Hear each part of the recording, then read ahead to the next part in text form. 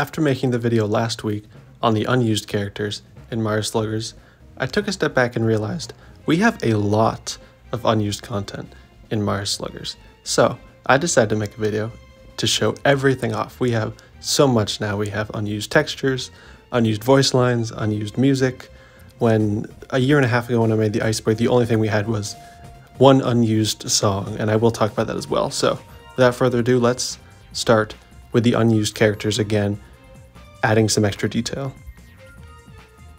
As mentioned last video, we found two unused Yoshis, an unused Koopa, unused Critter, and an unused Pianta in the game's code, completely unused, and we know nothing about them, but we can just guess on the color. And last time I offered a couple suggestions on what the color could be. And this time we have some nice, not really artistic renditions, but actually the texture put in the game. And we have some nice screenshots. You can see here we have orange and purple Yoshi. Those I think would be great in the game. And we have orange Toad and orange Pianta as well. And blue Koopa. And then my favorite is pink Critter. And of course, technically, Black Shy Guy is an unused character as well because you can see his name pop up in some of the minigames, but they went with Gray Shy Guy instead. Even with the characters that made it in the game, they have a lot of unused textures as well. You can see all of the textures for each character in the game's code, but not all of them are actually used. So we can start with King K. Rool. His bat has a little, his Scepter bat has a little gem on it, which is blue, uh, like a nice teal color. But there is code in his texture map for a green gem bat, and this is loaded in here so you can see what it looks like. And I think they went with the blue because it contrasts better with his body. The next one is Petey Piranha's belly button. So in Petey Piranha's texture map, you can see he has one texture devoted to his belly button. However, you never see it in game. Uh, this is, you know, clearly meant to be from Mario Sunshine, so I don't know.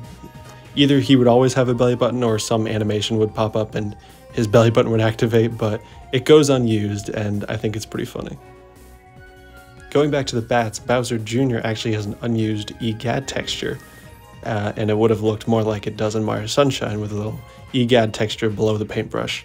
Um, and you, you know, you can see that from Mario Sunshine, however, it's kind of boring and lacking the EGAD texture in this one. Not sure why they removed it. I think it looked good.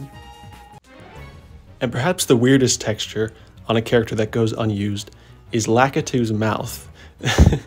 so Lakitu never like opens his mouth or anything in this game because you rarely see him anyway. But he does have a uh, a little texture for two textures for his mouth, these little red ones, and I think that's pretty funny. Petey Piranha has some more unused assets. He has an unused bat and glove character, as you can see in his code, the bosspakkun.tpl. That's his Japanese name, which I which I like a lot. You can see he has unused uh, bat and glove elements, and of course, he just picks the ball up with his mouth um, in the actual game and bats with his leaf arm. Another set of unused textures is on the Mario Slugger story mode map. So in Wario City, there's a, a trio of signs on this lamppost that say stadium, exit, and shop. However, the texture for this includes a casino uh, direction arrow at the bottom. And so apparently there was going to be a casino in Wario City, but they removed it probably just because they didn't want gambling in the game.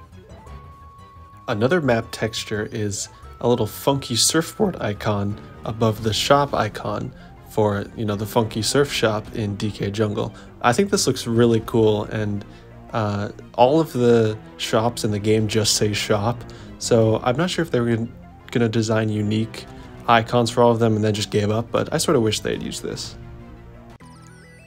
Finally, for textures, we have one unused text texture, and that is the time icon, uh, which was used in Superstar Baseball when you paused the game and Lakitu, uh, Lakitu said time. Um, but now it just goes right to the timeout screen and there is no text icon that says time. So kind of an interesting change. Speaking of unused Lakitu voice lines, there's a couple really interesting unused ones. I just mentioned the, the time um, voice line that he doesn't use. And there's also an alternate strike voice line, you know, they probably need a couple takes of that because it's such a such an iconic sound and it you know, you really had to get that right.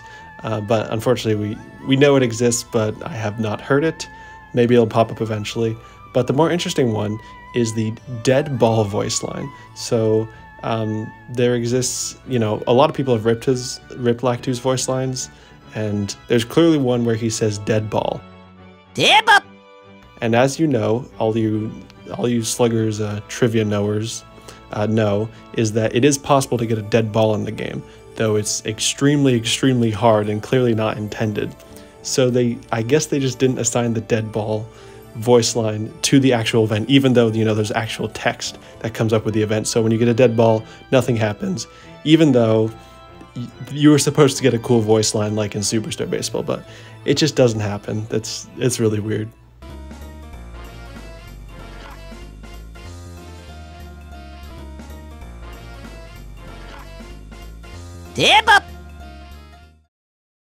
And finally, uh, as I mentioned before, we have a whole unused song that was our first finding. It is called BGM underscore captain. And since then, we've sort of figured out it's probably meant to be a background soundtrack to when you're picking your captain, but they ditched that and decided to just go with the normal character select uh, music. But it's such a banger. I really wish they'd put it in, but I will put it here at the end of the video for you guys to enjoy.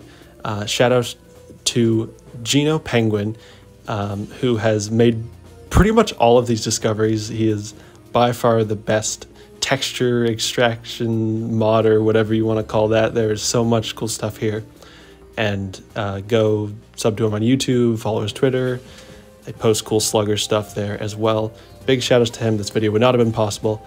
And we will be getting some amazing sluggers modding and stat stuff in the future. This is just the start. We'll be getting some amazing stuff coming next week and the week after, and there will be some live streams dealing with that stuff. So just wanted to put that out there, and thank you for watching. I'll see you next time.